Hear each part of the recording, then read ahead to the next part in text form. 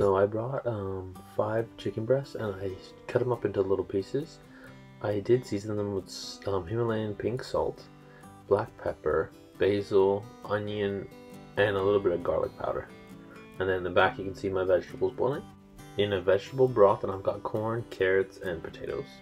Okay, I'm gonna make some gravy and then all I'm gonna do is put in my filling into these little ramekins cover with gravy and then you can use my puff pastry recipe and just cut out little squares just like I'm doing here.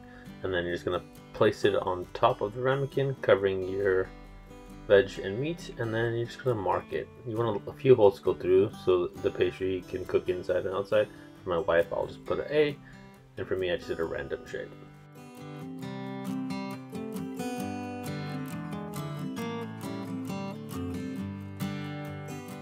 Okay, cook them on fan assist at 200 Celsius for 10 to 12 minutes and they should be done. So since everything on the inside is pre-cooked, we're just looking for them to brown and this looks perfect. So going to pull them out, let them cool, otherwise it will burn you. And then there you go, serve them. You can actually see the A on hers, looks pretty good.